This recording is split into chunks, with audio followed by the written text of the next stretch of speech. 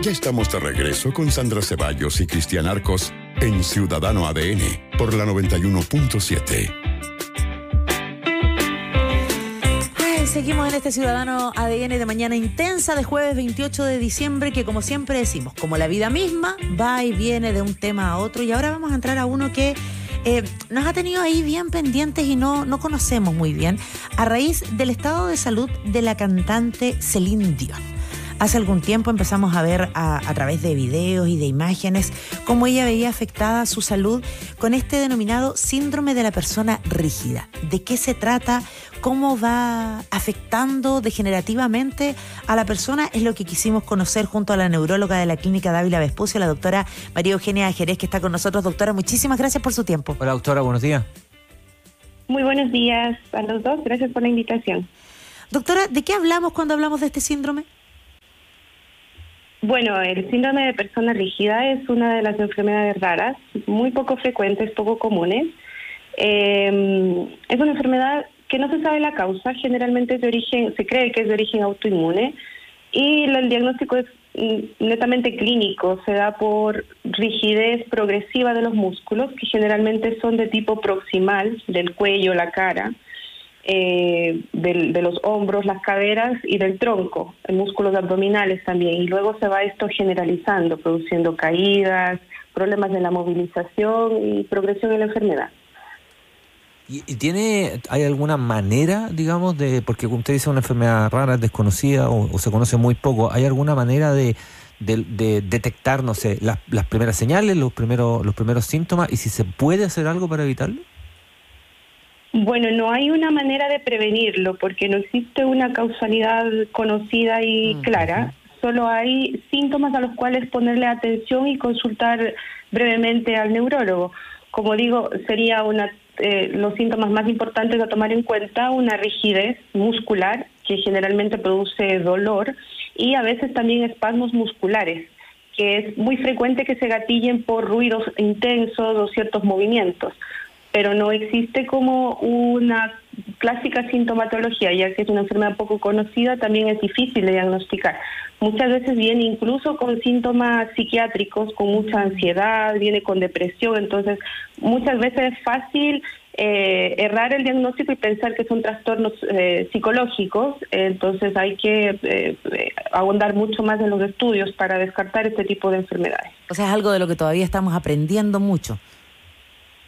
Así es. Lo único que se puede eh, adelantar, digamos, es como les dije, que es de tipo relacionado con trastornos autoinmunes. Eh, también puede haber con, eh, dentro de, enfermedades paraneoplásicas asociadas a algunos tipos de cánceres donde puede presentarse este síndrome previo incluso al mismo diagnóstico de cáncer y otro, otro porcentaje que es idiopático, o sea, no se sabe la causa. Eh, ahí, doctora, cuando no sabemos la causa, cuando todavía eh, estamos en proceso de descubrir algunas cosas, imagino que no hemos detectado todavía, o a lo mejor sí, si es que hay algún grupo que es más vulnerable, eh, si es que, no sé, se da a un género más que a otro, o en una edad. Bueno, sí, de los, de los pocos casos, porque generalmente se da entre tres a cuatro personas por millón de habitantes, entonces ahí podemos tomar en cuenta lo poco frecuente que es. Se ha visto que es más frecuente en mujeres en relación a los hombres y las edades que es más frecuente entre los 30 a 60 años. Mira, Claro, claro. Y, este es, es, una situación, obviamente, que va, va, va creciendo, una enfermedad neurológica que es, que es irreversible, ¿no? Está diciendo una vez que comienza, no, no hay forma, digamos, y solo solamente hay que hacer, qué sé yo, tratamientos paliativos, digamos, no hay, no hay manera, ¿no? De revertirlo, claro. Claro.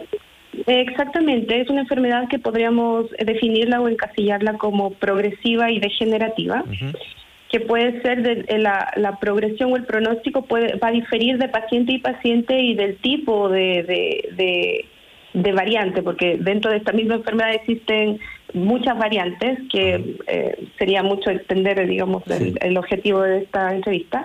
Eh, pero va a depender de cada, de, cada, de cada paciente. Y efectivamente no existe un tratamiento curativo, el tratamiento es netamente sintomático, consiste fundamentalmente en benzoiazepinas, que son como los medicamentos que la población conoce, como el diazepam, el clonazepam, que ayudan a mejorar esos espasmos y dolores. Eh, y de ahí se va progresando, bueno, en las escaladas del, tratamiento según el paciente vaya tolerando el, tratamiento. Estamos conversando con la neuróloga de la Clínica Dávila Vespucio, la doctora María Eugenia Jerez, a propósito de esta enfermedad, de este síndrome de la persona rígida. Doctora, y la involución que van teniendo los pacientes, ¿no? La, mm, degeneración de su sistema muscular, eh, ¿va a depender también de cada paciente? ¿Va siendo más rápido con el paso del tiempo? ¿Cuánto se demora más o menos? Como le dije, eh, depende del tipo de variante a la que a la que se llegue, digamos, del diagnóstico o a la que esté el, paciente sufriendo de este síndrome, pero va a depender mucho también de las comorbilidades. Y hay que hacer una enfermedad que de lo poco que se sabe es de origen autoinmune con mayor frecuencia, si el paciente tiene asociado aparte otras enfermedades de tipo autoinmune como la diabetes tipo 1, la tiroiditis, u, otras enfermedades de base, entonces la progresión va a ser mucho más rápida y el, el, la, o sea, la sintomatología va a ser mucho más intensa, por ende de más difícil eh, tratamiento y manejo. El, el, hecho de, bueno, estamos hablando de esto a partir de esta visibilidad, ¿no? Que se, se consigue, digamos, se obtiene a través de, la enfermedad de una cantante muy famosa como, como Celine Dion. Pero, pero efectivamente, doctora, estamos hablando de una enfermedad de una en un millón aproximadamente, ¿no? Estamos, estamos hablando de una, de una enfermedad bien, bien rara. Así es, es una enfermedad bastante rara. Y por lo mismo existe un N bajo. De, de pacientes en los cuales se pueda como hacer estudios, estudios extensos de hecho, a propósito de lo que dice y tomando en cuenta que ella, al ser una personalidad, digamos, eh, importante, conocida, eh, se podría pensar que tiene acceso a todos los avances médicos para tratarlo. Sin embargo, ahí nos damos cuenta de que no se trata netamente de la parte económica, sino de los avances que se puede dar. Y al ser una enfermedad poco frecuente, es más difícil llegar hacer estudios experimentales, etcétera.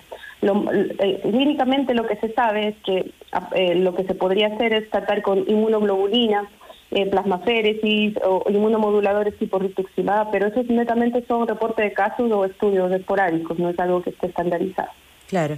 Y en términos generales, los pacientes, doctoras, que, que, finalmente fallecen producto de las complicaciones de estas enfermedades, eh, ¿cuál es la, causa más frecuente? Porque aquí en el caso de Celine Dion, por ejemplo, ella ha dicho que las cuerdas vocales, que son un músculo, se ven afectados, que también el corazón, pero que los espasmos son los que han, han eh, afectado particularmente las distintas facetas de su vida, ¿no? Que le impiden caminar. Sí, bueno, ahí volvemos a que depende de las comorbilidades. Puede que el paciente no fallezca eh, per se por el mismo síndrome, sino por sus enfermedades concomitantes. Sin embargo, en la variante clásica, que es el síndrome de persona rígida mm, clásico, eh, existen esos espasmos y esta disfunción como muscular de los músculos respiratorios. Entonces, eso puede producir alteraciones eh, como paro, paro cardiorrespiratorio. Además, las terapias es importante. Como es una enfermedad que responde altamente al uso de benzodiazepinas, estos, estos medicamentos producen depresión respiratoria. Lastimosamente, estos pacientes necesitan dosis altas de estos medicamentos.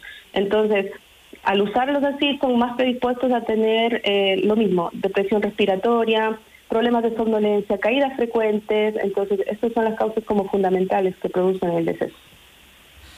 Bueno, es una enfermedad a la que entonces seguramente vamos a tener que seguir aprendiendo muchísimo, doctora, y, actualizándonos, ¿no? Porque como usted dice, es algo que todavía está en proceso de aprendizaje, sobre todo en términos de, los tratamientos. Sí, sí. Bueno, viéndolo del otro lado, digamos, afortunadamente es poco frecuente. Sí, pues, uno en un millón, ¿no? Sí, una, bueno, la estadística dicen de entre uno a tres por un millón. El mensaje para la población sería estar atento a, síntomas y consultar con un especialista lo más precoz posible para sacarle todas las dudas que puedan tener. Claro, los tratamientos eh, que son muy muy al inicio de cualquier enfermedad siempre son una mejor opción. Doctora María Eugenia Jerez, neuróloga de la Clínica Dávila Vespucio, muchísimas gracias por haber estado con nosotros en el Ciudadano A ustedes. Que esté muy bien. Muchas gracias. Que tenga buen día.